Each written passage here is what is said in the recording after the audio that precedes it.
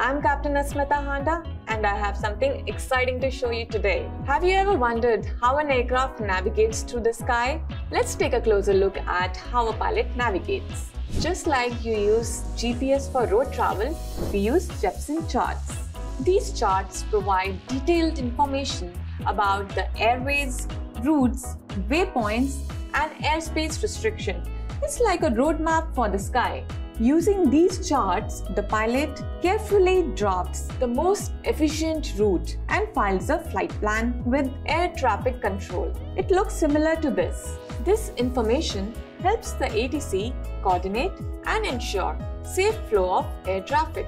Just like GPS tracks your progress on the road, air traffic controller monitors our position in the air.